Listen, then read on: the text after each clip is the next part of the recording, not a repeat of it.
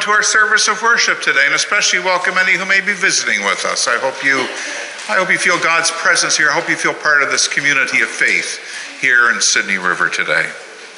I would ask us all to take a moment to, uh, to quiet ourselves, to still ourselves as we prepare for worship today.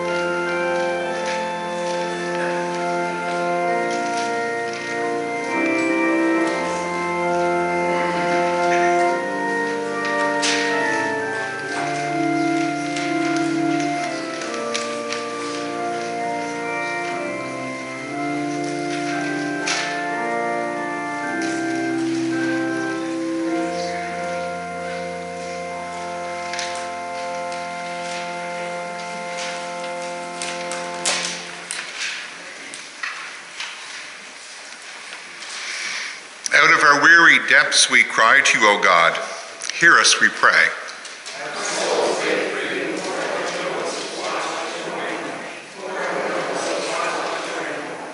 Everlasting is your wondrous love, and it is our great hope that you will revive us once again.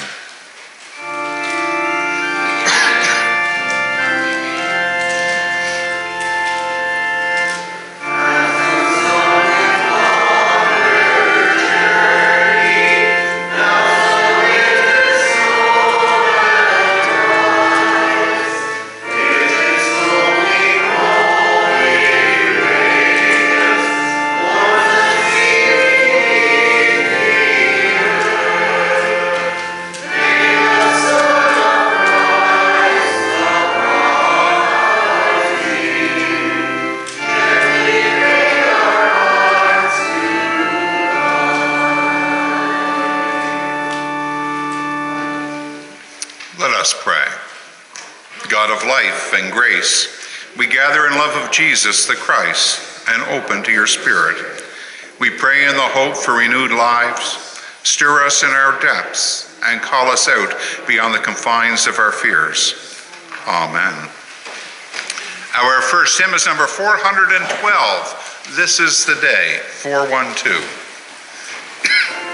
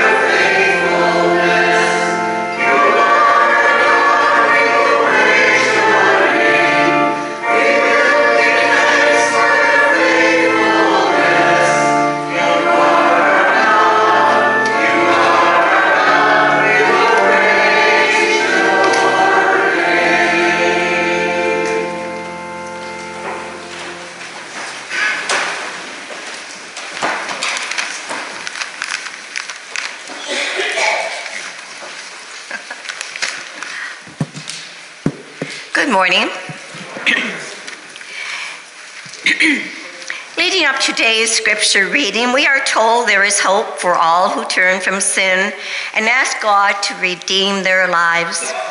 God is gracious and will forgive us no matter what we have done. He will even redirect our course and create a new life, a life of hope, peace, and undergoing relationship with Him. Our scripture reading is from Ezekiel 37, verses 1 to 14. Excuse me. the hand of the Lord came upon me, and he brought me out by the Spirit of the Lord and set me down in the middle of a valley. It was full of bones. He led me all around them. There were very many lying in the valley, and they were very dry. He said to me, Mortal, can these bones live? I answered, O Lord God, you know. Then he said to me, Prophesy to these bones and say to them, O dry bones, hear the word of the Lord. Thus says the Lord God to these bones I will cause breath to enter you, and you shall live. I will lay sinews on you, and you would cause flesh to come upon you, and cover you with skin, and put breath in you, and you shall live. And you shall know that I am the Lord. So I prophesied as been commanded. And as I prophesied, suddenly there was a noise, a rattling, and the bones came together, bone to its bone. I looked, and there were cinders on them, and flesh had come upon them, and skin had covered them, but there was no breath in them. Then he said to me, Prophecy to the breath, prophecy, mortal, and say to the breath, Thus says the Lord God Come from the four winds, O breath, and breathe upon these slain that they may live. I prophesied as he commanded me, and the breath came into them as they lived and stood on their feet, a vast multitude. Then he said to me, Mortal, these bones are the whole host of Israel. They say, Our bones are dried up, our hope is lost, and we are cut off completely. Therefore prophesy and say to them, Thus says the Lord God, I am going to open your graves and bring you back from your graves O my people, and I will bring you back to the land of Israel. And you shall know that I am the Lord when I open your graves and bring you up from your graves. O my people, I will put my spirit within you, and you shall live. And I will place you on your own soil. Then you shall know that I, the Lord, have spoken and will act, says the Lord. Here ends the reading.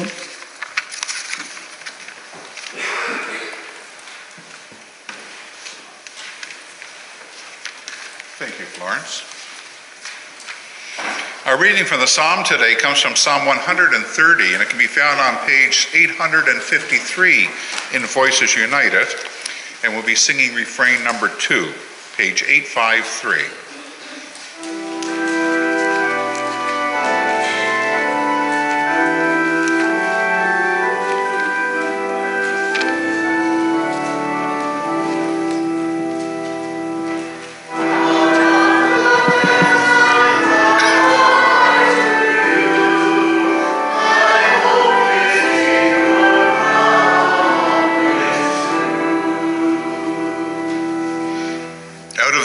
I have called to you. O God, hear my prayer. If you should keep account of what is done amiss, O God, who could stand?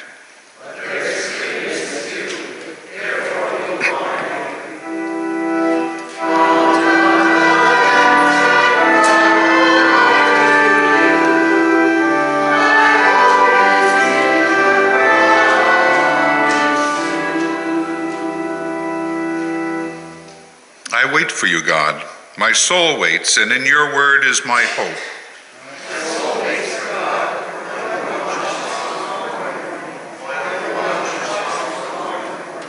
O Israel, wait in hope, for with God there is love unfailing.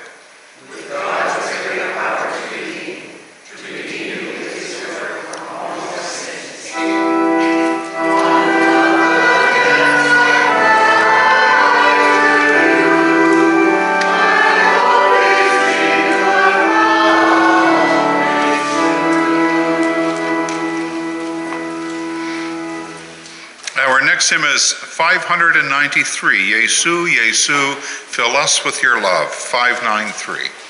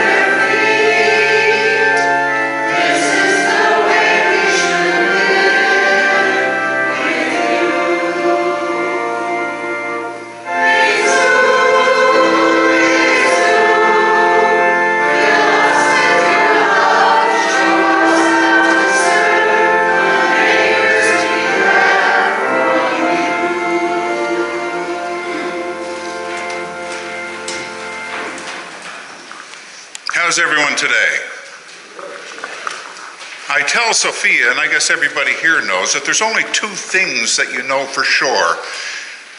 One is death, and one is dad tax. We talk about dad tax at Halloween, but today we want to talk about death. Death. So, have you ever encountered death? Have you ever had a pet, pet that died? Yeah. Joseph, you ever have a pet that died? Yeah. How'd you feel? Sad, eh? Yeah. Did you feel sad, Soph? Yeah. Did you cry? Yeah. And why'd you cry, do you think? What's that? Because you love them and you miss them? Yeah? Is that right? You love them and you miss them. And I think what happens too when we're sad, we feel overwhelmed sometimes and we feel that we have all these feelings and we don't know what to do with them. But when we cry, that sort of releases. That sort of releases those feelings, and we can start understanding it a little bit better. We can start moving on a little bit more, eh? You know, when I have funerals here, I talk to people who've lost a loved one. And when they're talking with me, you know, they're talking about the things that have to happen in the service and stuff. And I say, nothing has to happen in the service. What we need to do, what the service is for, is to help you people move forward. And some people like to have, sing and they have a lot of music, and some people don't like to sing and they don't have much music, if any music. Doesn't matter. And some people cry and some people don't cry. And that doesn't matter either. And I tell people the only change that's going to happen is if somebody cries, service is going to be longer because I'm going to start crying.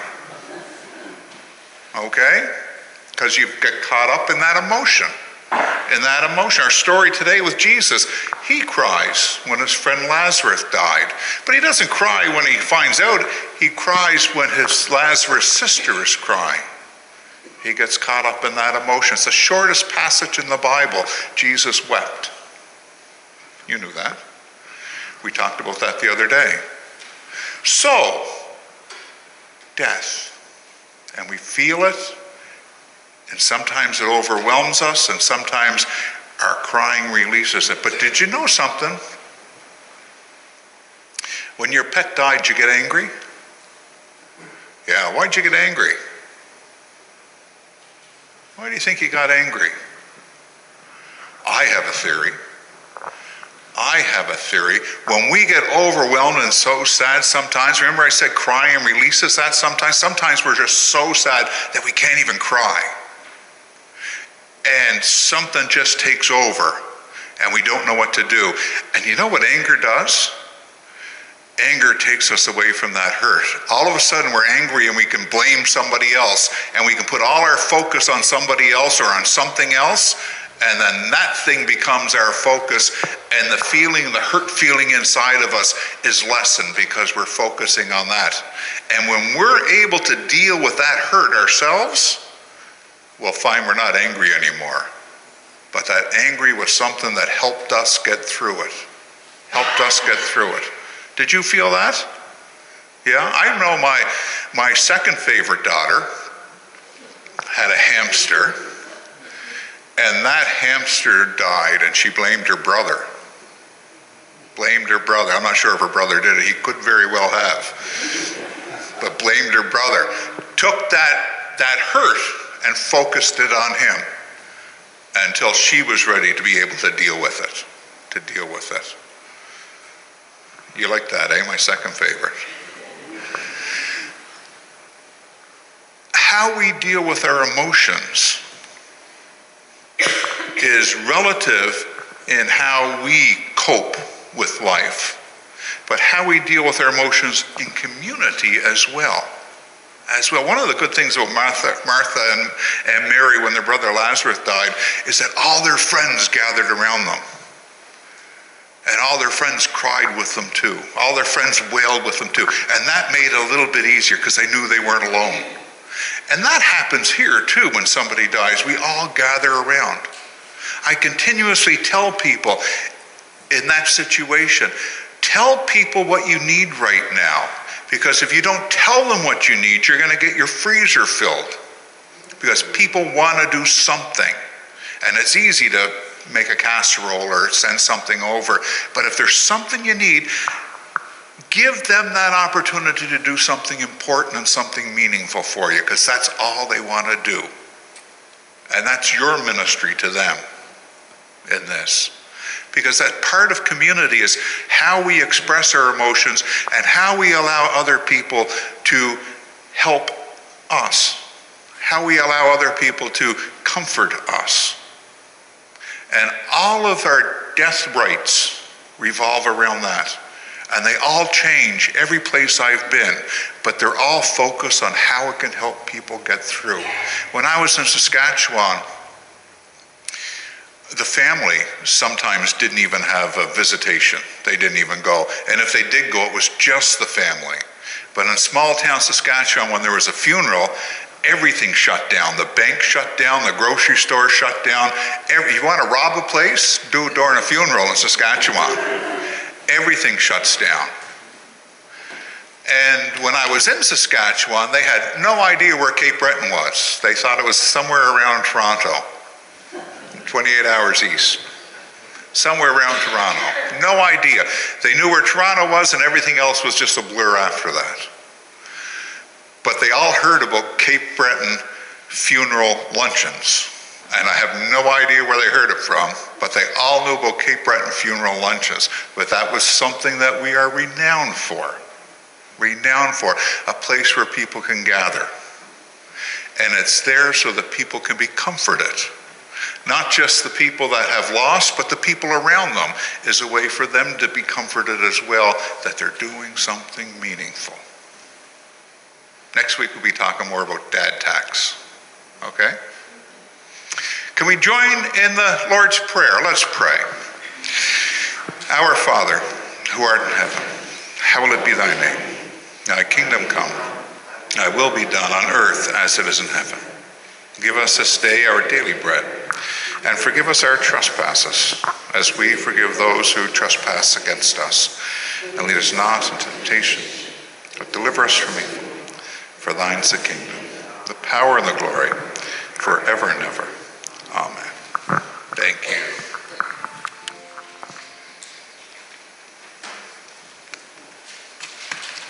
We continue with John's Gospel, talking about how we uh, learn things, I guess, through misinterpretation again. Reading at John 11, verses 1 to 45. Now, a certain man was ill, Lazarus of Bethany, the village of Mary and her sister Martha. Mary was the one who anointed the Lord with perfume and wiped his feet with her hair. Her brother Lazarus was ill. So the sister sent a message to Jesus Lord, he whom you love is ill. But when Jesus heard it, he said, This illness does not lead to death. Rather, it is for God's glory, so that the Son of God may be glorified through it. Accordingly, through, though Jesus loved Martha and her sister Mary and Lazarus, after having heard that Lazarus was ill, he stayed two days longer in the place where he was. Then after this, he said to his disciples, Let us go to Judea again. The disciples said to him, Rabbi, the Jews were just now trying to stone you, and you are going there again? Jesus answered, Are there not twelve hours of daylight? Those who walk during the day do not stumble because they see the light of this world, but those who walk at night stumble because the light is not in them. After saying this, he told them, Our friend Lazarus has fallen asleep, but I am going there to awaken him. The disciples said to him, Lord, if he has fallen asleep, he will be all right. Jesus, however, had been speaking about his death, uh, speaking about his death, but they thought that he was referring merely to sleep. Then Jesus told them plainly, Lazarus is dead. For your sake I am glad I was not there, so that you may believe. But let us go to him. Thomas, who was called the twin, said to his fellow disciples, Let us also go, that we may die with him. When Jesus arrived, he found that Lazarus had already been in the tomb four days. Now, Bethany was near Jerusalem, some two miles away, and many of the Jews had come to Martha and Mary to console them about their brother. When Martha heard that Jesus was coming, she went and met him, while Mary stayed at home. Martha said to Jesus, Lord, if you had been here, my brother would not have died. But even now I know that God will give you whatever you ask of him. Jesus said to her, Your brother will rise again. Martha said to him, I know that he will rise again in the resurrection on the last day. Jesus said to her, I am the resurrection and the life. Those who believe in me, even though they die, will live, and everyone who lives and believes in me will never die. Do you believe this? She said to him, Yes, Lord. I believe that you are the Messiah, the Son of God, the one coming into the world. When she had said this, she went back and called her sister Mary and told her privately, The teacher is here and is calling for you. And when she heard it, she got up quickly and went to him. Now, Jesus had not yet come to the village, but was still at the place where Martha had met him. The Jews who were with her in the house, consoling her, saw Mary get up quickly and go out. They followed her because they thought that she was going to the tomb to weep there. When Mary came to where Jesus was and saw him, she knelt at his feet and said to him, Lord, if you had been here, my brother would not have died. When Jesus saw her weeping, and the Jews who came with her also weeping, he was greatly disturbed in spirit and moved deeply. He said, Where have you laid him? They said to him, Lord, come and see. Jesus began to weep. So the Jews said, See how he loved him. But some of them said, Could not he who opened the eyes of a blind man have kept this man from dying? Then Jesus, again greatly disturbed, came to the tomb. It was a cave, and a stone was lying against it. Jesus said, Take away the stone. Martha, the sister of the dead man, said to him, Excuse me, Lord, Already there is a stench because he has been dead four days. Jesus said to her, Did I not tell you that if you believed, you would see the glory of God? So they took away the stone.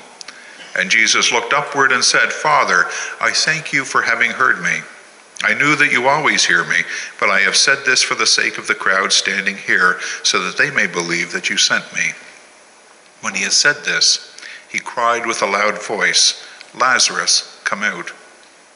The dead man came out, his hands and feet bound with strips of cloth, and his face wrapped in a cloth. Jesus said to them, Unbind him and let them go. Many of the Jews, therefore, who had come with Mary and had seen what Jesus did, believed in him. Here ends our reading.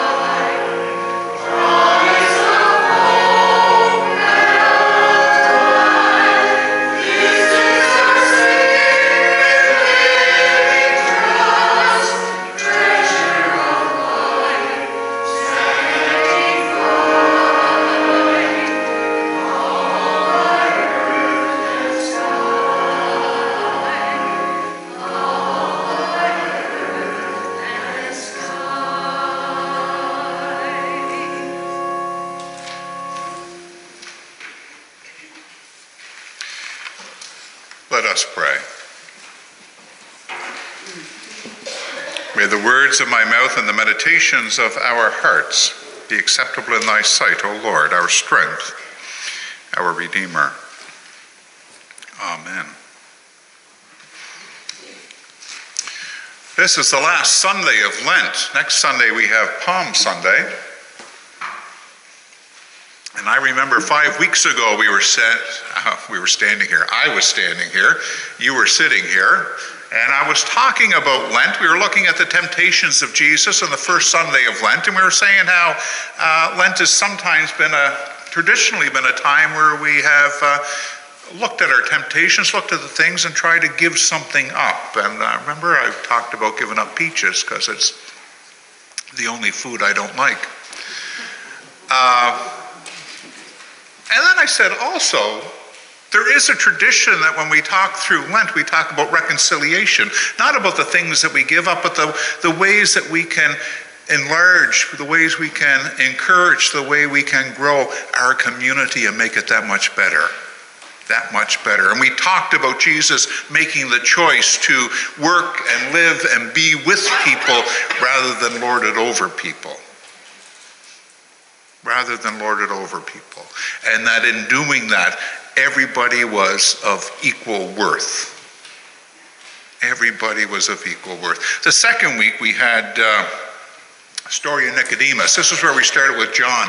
John kept giving us all these very long stories where people kept misconstruing uh, what he was saying, misunderstanding what he was saying. And in that misunderstanding, learning was taking place. And we remember the story of Nicodemus. Nicodemus had come up, he was a Pharisee, and he wanted to meet Jesus, and he wanted to understand Jesus and follow Jesus. And Jesus said he had to be born anew, had to be born from above. And Nicodemus thought he was talking about literally rebirth. And Jesus was talking about being born of the Spirit. And we talked about how uh, in reconciliation, everybody is born of the Spirit, and therefore everyone is of equal worth again. And that the communities which we find ourselves in, everybody is important is important, and it's up to us to make sure that we try to make strife as little as possible. We're all going to have differences. There's always going to be behaviors that we accept or we don't accept, and that's part of the community's job to do what's acceptable and what's not acceptable, but to try to enclose, embrace everybody. The next week, we talked about the Samaritan woman at the well. This woman was so shunned by her community that the only time she could come and get water was when the temperature was the highest, and she knew that she would be the only woman there because everyone else would have gone at a different time when it wasn't so uncomfortable to be out in the sun.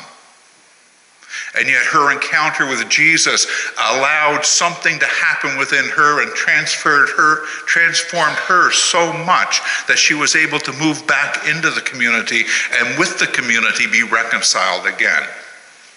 We talked a little bit about her predicament being there because of the dictates of society upon her and the choices that she had to make because of that.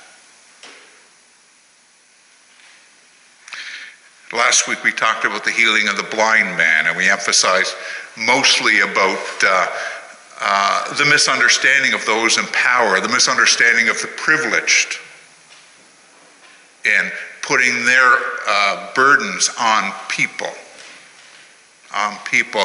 And we ended talking about how it is the responsibility of the privileged, and most times it's the privileged who are the perpetrators it is their responsibility to ensure that reconciliation happens. It's not the responsibility of those who have been injured.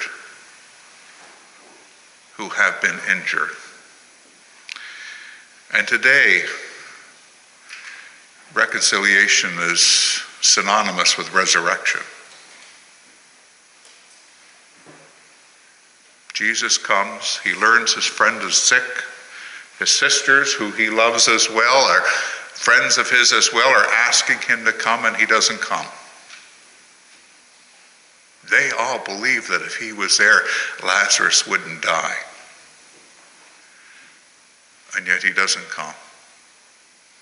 I was talking with the kids about anger. I can imagine the anger that they must have had this feeling of betrayal by someone that they knew could have done something for their brother and didn't.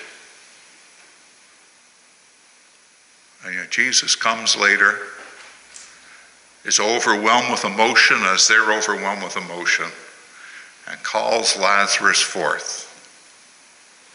And Lazarus walks out. They're reconciled together, and everyone is joyous. They go from sadness and despair and loneliness to joy, and they cannot believe what has happened.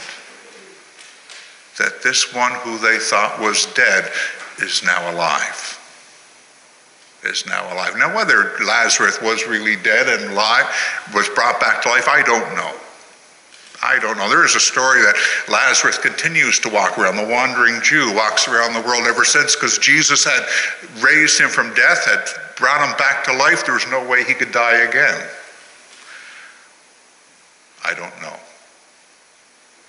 I don't think that story's true. It's very reminiscent of the littlest hobo, if you remember that, just going around doing good things for people. If you're old enough to remember that, and you love German Shepherds. reconciliation of community is such a joyous thing and it brings and it lives resurrection. Resurrection. Like that woman at the well, the encounters we have with Jesus can transform us in such a way that it brings reconciliation to the communities, uh, the community and the communities in which we live in such a way that they are transformed into something so much more. So much more. I like the story with Lazarus because, as I said earlier, the community literally gathers around them. The community literally weeps with them, weeps for them, and weeps with them. And the community itself are involved in the, in the resurrection experience itself, and they experience that, and they are joyous for it, and they celebrate. And many, it says, believed because of that. We all need signs, eh? Many of them believed because of that. If you read a little bit further on, that's also the reason why he was uh, arrested, tried, and executed. Many believed and came to him. Metaphorically, though, this resurrection thing is astounding. When we can be so lost and so forlorn, and yet at some time in the future find ourselves laughing again and happy again and joyful again and have meaning in our lives again, that's a resurrection experience. When new life can be blown into us, no matter how tired we feel right now, that's a resurrection experience. Ezekiel's talking to a people who have been sent off to Babylon, and they're there for 70 years. They believe that God is still with them, but they're going to come back. But all of a sudden, all of their older people are starting to die and are going to be buried in Babylonian soil. And they're worried now that maybe they were wrong. And uh, Ezekiel tells them that God is going to blow new life into them, new hope into them, and God's Spirit will raise them put bone and sinew on them, God's Spirit will breathe new life into them. They're not alone. People will come back home. God is still with them. And new hope is born. New hope is born. Jesus in his day is offering people a new way to be in the world, a new way to understand the world, a new way to understand themselves, and in so doing so,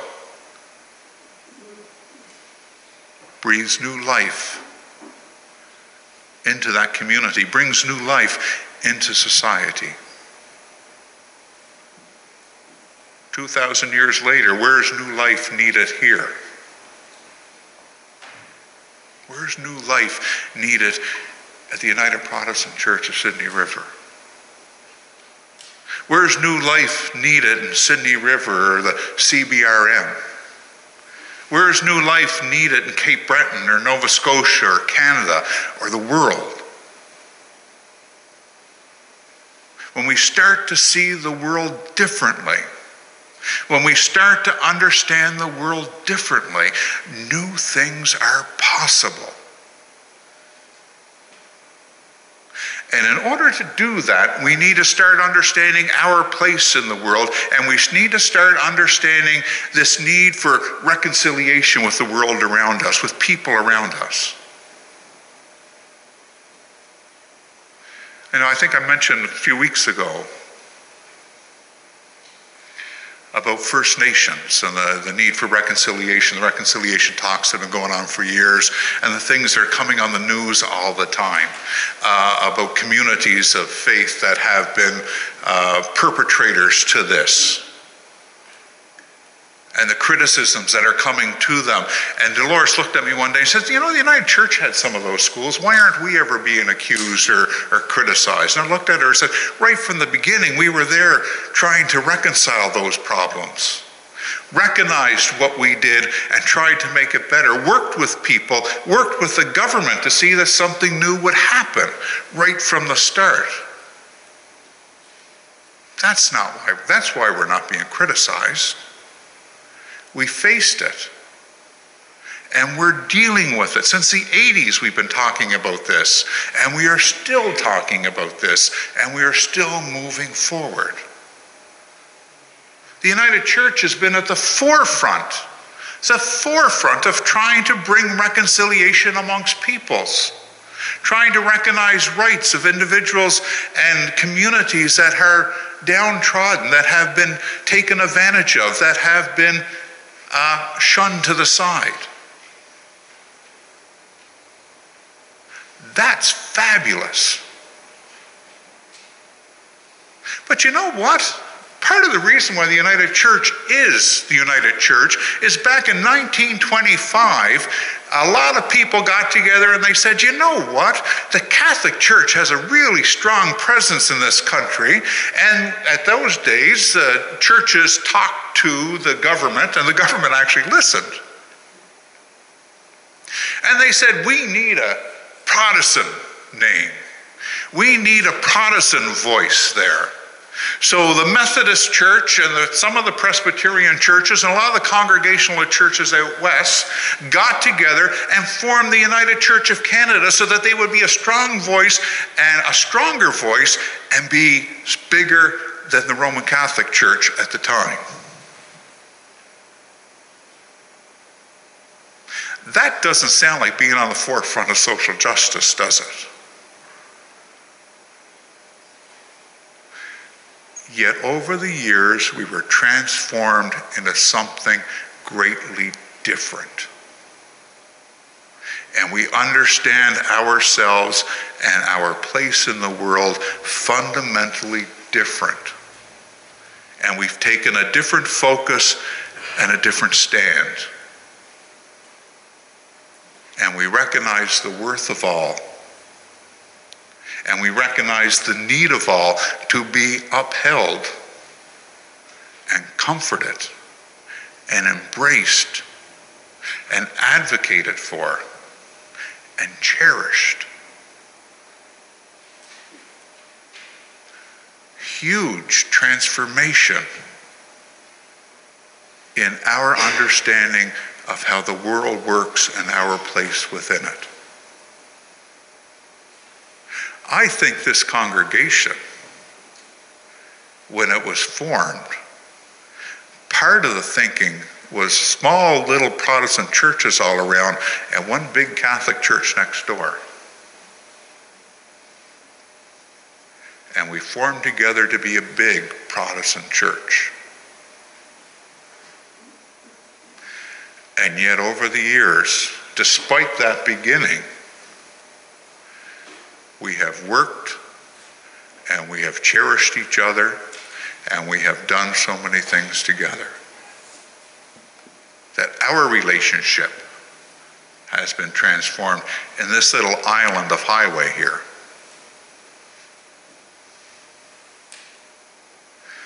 I think next year we're going to be different yet again. And we're going to be focused yet again. There's going to be new people coming in. There's going to be new issues that are confronting us. Donald Trump will be in jail. It's going to be a different world. A different world. And we have to be there with our eyes wide open, trying to understand what's being asked of us.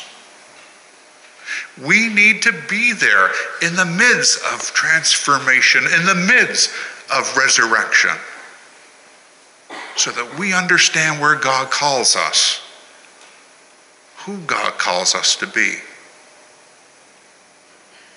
Amen.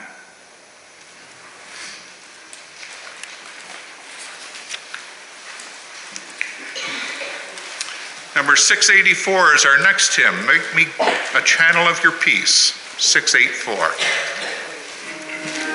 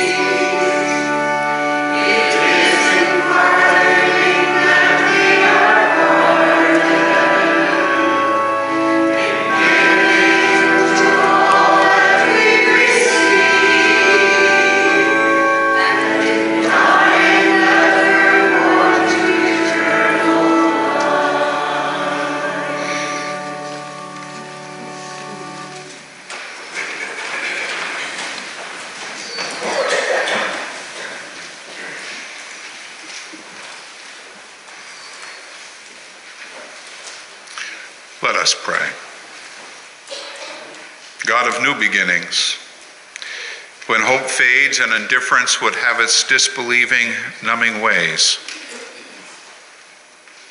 When hurt, when grief, when death affects us all. For those who have been in pain, for those who are in mourning, for those who are sick, for those who are dying. Especially today, we remember Blair Joseph, as he struggles, as he fights for life. God of new beginnings, rattle our bones and raise our vision. Christ of new beginnings, oh, that we hear your liberating invitation to give of ourselves fearlessly and compassionately as we listen to the needs of the world, to the needs of our neighbor Christ of new beginnings, rattle our bones and raise our vision. Spirit of new beginnings, resurrect within us a strength and desire of personhood. May we stand tall in who we are and embody your mission of love to the world. May we encourage others and embrace others and help in your transforming power around our world. Spirit of new beginnings, rattle our bones and raise our vision. Amen. I'd like to direct your attention to the announcements found in your bulletin. We offer our sympathy to the John Stubbard and family on the recent death of his wife Carol. Gratefully acknowledge memorials to the local fund in memory of Duncan McVicker by Fenton and Gail Eisner, Angus and Ruth Coffin, Elizabeth Pierce, Guild, John and Janice McGinnis, Margaret Eisner, Walter and Kay Ingram, Dave and Linda McIver, Lewis and Judy McKinnon, and the senior choir. And in memory of Carol Stubber by Lewis and Judy. And we thank those who have remembered our family past and present in this way. After church today, we'll be having our coffee hour. It will not be held in McLeod's Hall today. We have a funeral coming up at uh, this afternoon. Uh, so we were set up in the boardroom where we had usually met before COVID had come. Uh, so please, everyone, that's a come and join us and have a cup of coffee, a cup of tea, a, a bite, a little bite to eat, and a chance to visit and connect with each other. Elizabeth Pierce Guild would like to extend a uh, sincere thank you to those who baked and supported their bake sale during the pancake and sausage breakfast last, uh, last Saturday, a week ago Saturday. Thank you for helping make our bake sale a huge success. And the Brotherhood, again, would like to thank everyone for uh, who supported and helped in any way to make the pancake and sausage breakfast such a success. From serving to cleanup would not be possible without you.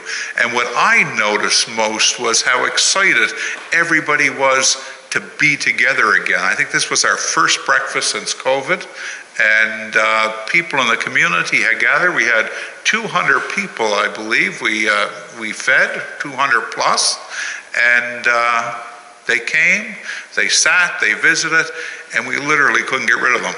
So uh, they enjoyed it. They enjoyed it. FundScrip update, uh, profit for March of $268.39. There are a couple of uh, promotions for the month of April.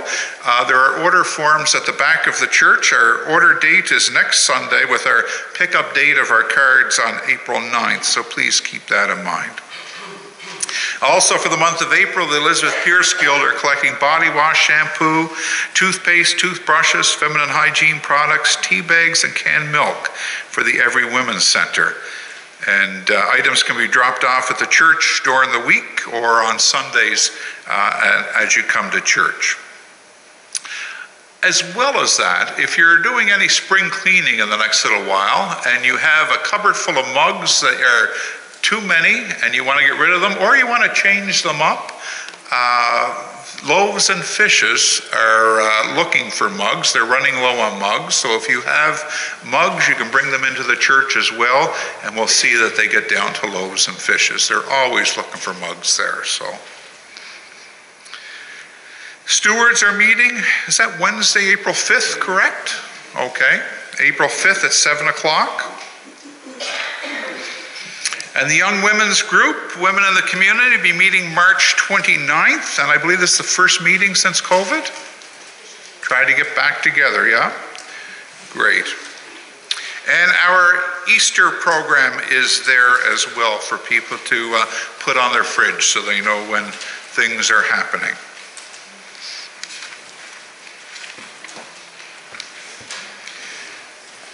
Let us continue to worship God with the presentation of our offering.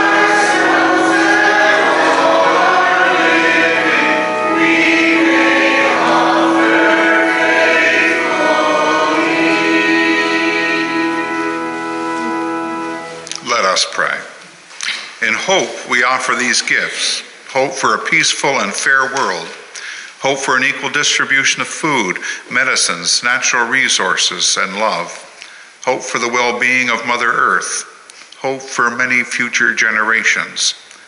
In hope, we bring these gifts as hope for a peaceful and fair world. Amen.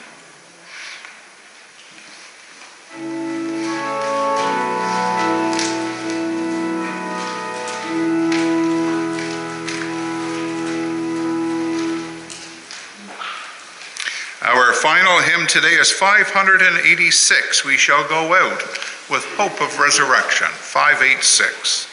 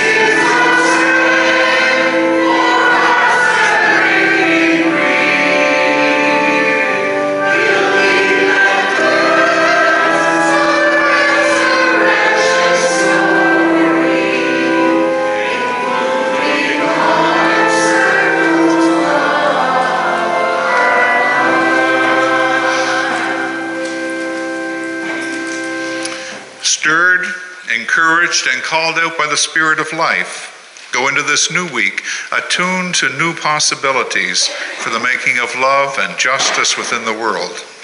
We go in the peace of God, the love of Christ, and the renewed grace of the Holy Spirit.